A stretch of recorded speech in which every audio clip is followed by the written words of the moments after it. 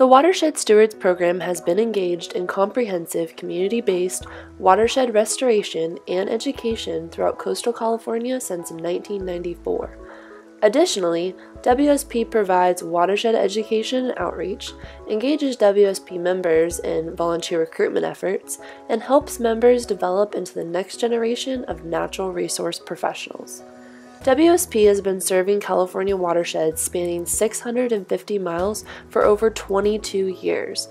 Our program has humble beginnings and was started with one goal in mind to provide the needed research to save salmonid species. Hello, my name is Philip LaFollette. I'm here today to talk about uh, the history of the Watershed Stewards Program with the California Conservation Corps. In the late 70s, when the CCC was starting up, uh, there was a center down south of Eureka called Leggett. And um, at that time, folks were starting to realize that the salmonid populations were declining. Uh, they didn't know why. They were noticed the commercial fishermen and sport fishermen were realizing that there, there weren't as many fish as there used to be.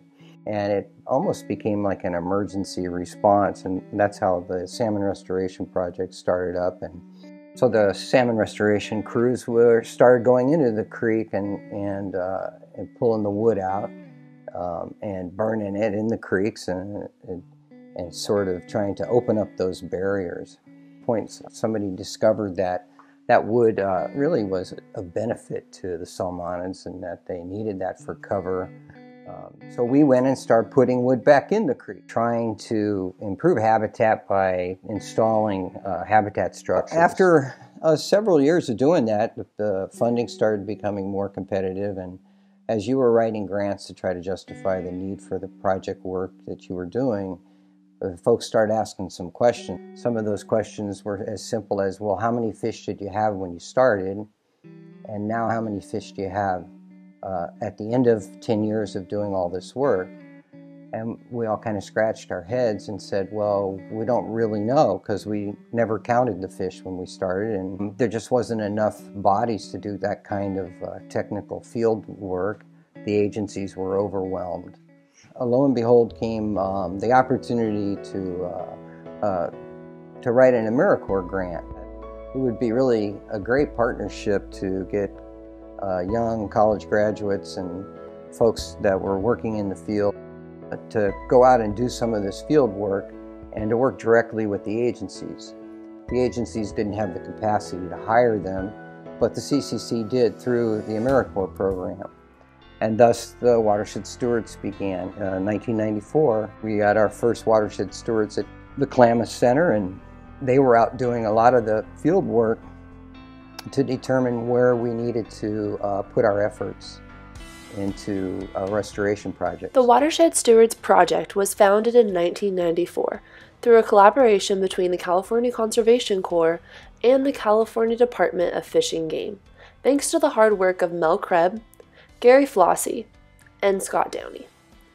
The program was funded with contributions from AmeriCorps, the Fisheries Restoration Grant Program, the California Conservation Corps, and the original placement site partners. It was a, win-win situation. Uh, all of a sudden we were getting uh, habitat typing. We were really trying, starting to realize what kind of habitat the fish uh, wanted to live in. They were uh, doing spawning surveys, snorkeling surveys. They were looking at both rearing habitat and spawning habitat. And all of this information was starting to be uh, correlated and given back to the agencies, uh, which provided them with the data they needed to justify continuing uh, to do work. When WSP was founded in 1994, it included placement sites throughout Northern California and a main office in Fortuna. Oh, that was the beginning of the Watershed Stewards program. My next sort of journey with it was when I transferred back to San Luis Obispo in 1998. I was aware that um, there used to be a lot of steelhead in the creeks and there were hardly any left. Um, they had become rare and threatened in this area and endangered south of the Santa Maria River, and pretty much nothing was being done. So that was of concern to to myself and, and also with the Fish and Wildlife folks here locally, but they just didn't have the resources to do much. We um, started working in collaboration with Gary Flosi at the Fortuna Center to start a restoration pro program down here because we just didn't have enough data. There wasn't enough uh, watershed plans. There, there wasn't enough information about what habitat did exist, what habitat didn't, where the habitat was needed, and where the fish were. Uh, which streams were, were, healthy enough to support fish populations. So we really pushed hard to try to get watershed stewards down here. It was very difficult because uh, we also didn't have the agency funding down here nor the networking to, to create that uh, program. But after you know 10 years of working at it, in 2010 we, we started the Watershed Stewards program here in San Luis Obispo and and it has really thrived and, and been a, become a key component for our uh, state for the stakeholders down here in this area and for all the agencies that we work with. In 2011, WSP opened a Region 2 office in San Luis Obispo. Since then, the program has grown to reach as far south as the Santa Monica Mountains. We have watershed stewards on the Central Coast now, and, and, and they're even moving down. They've moved further south. And I think we're going to get quality restoration projects for the CCC as a result of the quality science being done behind uh, determining where those projects need to go.